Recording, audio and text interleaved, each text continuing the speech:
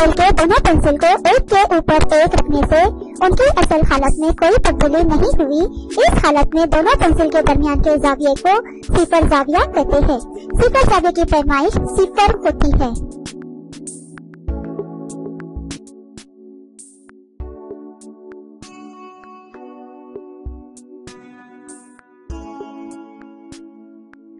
کی شکل میں اصلاح ساکن حالت میں ہے۔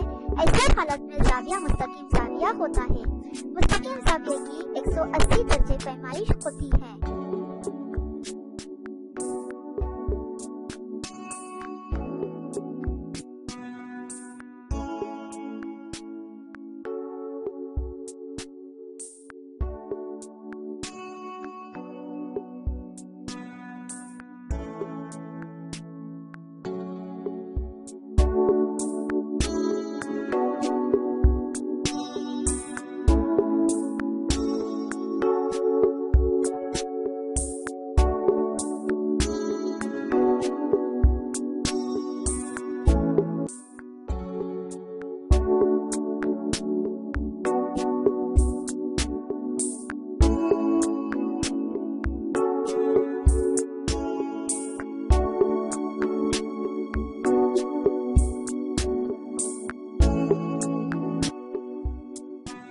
زیل کی شکل میں زاویہ ایک سو اسی درجے سے بڑا ہے، ایسے زاویے کو مقررہ زاویہ کہتے ہیں۔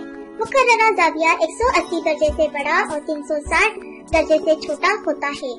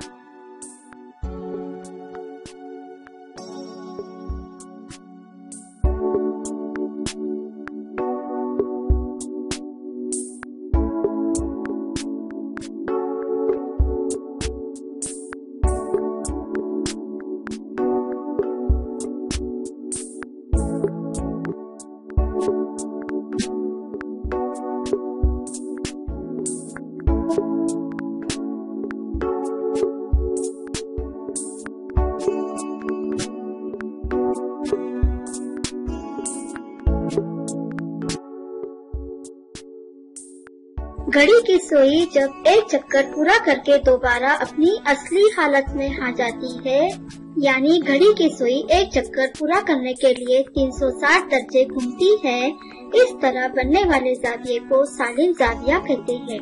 سالم زاویے کی پیمائش تین سو ساٹھ درجے ہوتی ہے۔